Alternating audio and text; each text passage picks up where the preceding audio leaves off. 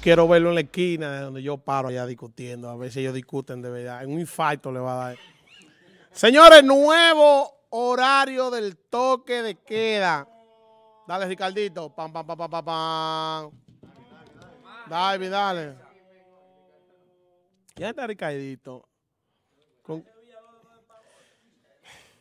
Gobierno dominicano anunció la flexibilización en el toque de queda en vista de que han visto una reducción de la curva de contagio. Entonces, por hoy hubo... Hoy subió eso a 200. Reducción en la curva de contagio de República Dominicana en las últimas semanas. Ni muesa la para le lleva a ellos.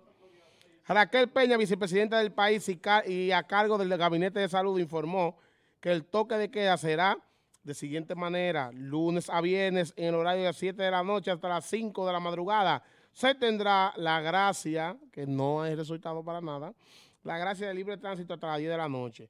Los sábados y domingos del horario del toque de queda será de 5 de la tarde, 5 de la mañana con una gracia del tránsito hasta las 8 de la noche.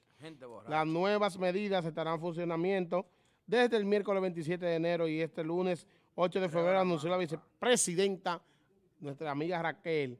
Las nuevas disposiciones están contenidas en el decreto 037-21 firmado por el presidente de la República Dominicana, Luis Abinader, cariñosamente Luisito, como eh, tenemos ese, tipo de confianza. Por supuesto, las redes sociales hirvieron en debates y demás sobre este horario. Le voy a dar mi opinión. Gusto, una pregunta. Guste o no le guste. Diga, Pinto. Hay gente que se alegra por eso y hay gente que no. Bueno, mire. Pues, antes no lo querían. Antes no, todo el mundo quería que lo pusieran así, ahora nadie lo quiere. porque lo Ahí está también lo que, lo que puede estar abierto y lo que no.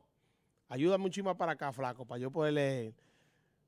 Eh, los bares, le dieron bares y terrazas, le dieron eh, con un 60%. Ay, Dios. Ay, 60% fue. Y mi pregunta, ¿y cómo van a saber ellos cuando Los restaurantes podrán recibir 60% de la capacidad con menos de seis personas por mesa.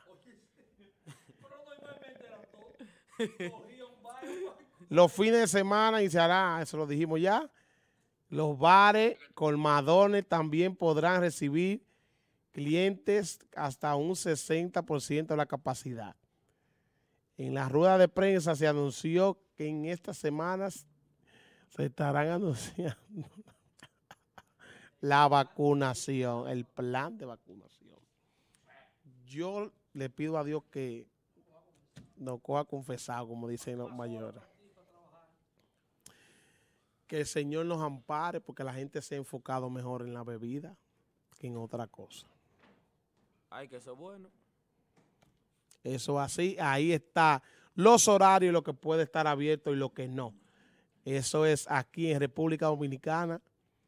Eh, yo creo que el gobierno debe buscarle otra vuelta a, los pequeños empresarios que han sufrido esto. Pero la gente con seis, ¿no? Pero normalmente lo que salen son cuatro bebés que se ponen loquísimos. ¿Eh? Eh. Es decir que hoy hubo una cifra alta de... Y va a seguir subiendo. 14 muertos. Mañana va a haber 18 muertos. Va subiendo, es decir, que el toque de queda está quedando como obsoleto, eso como que no es. Ahí están los twitters, queríamos el toque de queda los sábados y domingos de las 7, complacido, dentro de un par de semanas vienen y dicen que lo ponga 24 sábado y domingo, lo espero sentado, dice ah, Alex. Ahí están los twitters, que no, no está muy de acuerdo la gente. Vamos a sacar varias llamadas. ¿Qué ustedes creen? Varias llamadas al 809-725-0505. ¿Está usted de acuerdo con los nuevos horarios del toque de queda?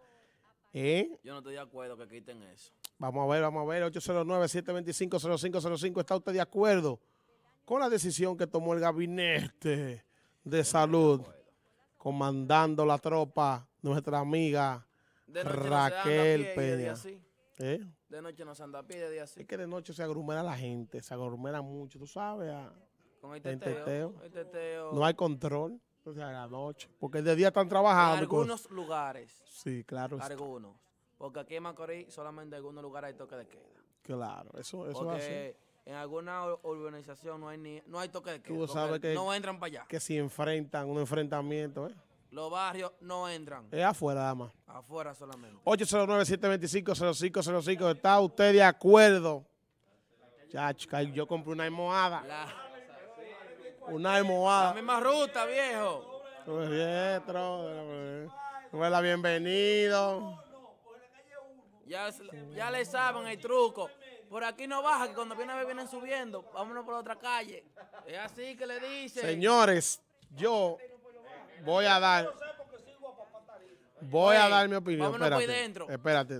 Vamos, yo voy a dar mi opinión. Yo no estoy de acuerdo con ese horario.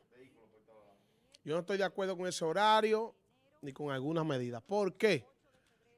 Porque ahorita van a tener que ponerlo de nuevo para atrás.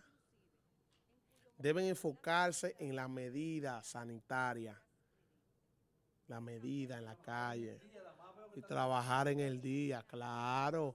Salud pública, en conjunto, en esos bancos que están llenos, no puede decir Ese nada. supermercado. Supermercado grande, todo el mundo Ese callado. mercado que no cabe una gente más. ¿Me entiendes? Que déjame los mercaderos tranquilos. Que, que ahí, si te metes para allá. te metes para allá, te dan un yucazo como, como el amigo de nosotros. Señores, no, lo que, lo que fuera de Chercha deben buscar un bajadero a esta situación, porque si está subiendo eh, eh, lo- los muertos y, la cosa, es decir, que no, no está resultando el toque de queda.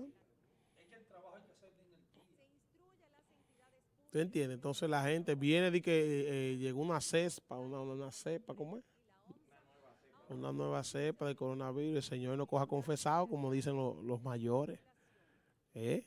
Esperemos en Dios, claro. Tú sabes, Neto, eh, llegó Lle- soporte. Llegó soporte. Eh, que, por ejemplo, yo tengo una, una idea de que los bancos es el primer cúmulo de gente que tenemos en la calle. Entonces, vamos a poner los bancos que no abran a las 9, que abran más o menos a las 7 y media, a las 7 y 45, y que cierren casi a las 6 de la tarde, como todas las instituciones, la- las empresas. Todo el mundo cierra a las 6 de la tarde y nadie se muere. La gente de banco no. También otra solución que le tengo es que monten una carpa fuera de los bancos Claro. con dos o tres laptops y que todo el que vaya a servicio al cliente vaya donde ellos, a donde esté la carpa. No Claro, tenga muy la bien, gente- muy bien eso. La gente que va a servicio al cliente no tenga que entrar al banco, que solamente entren los que van a caja.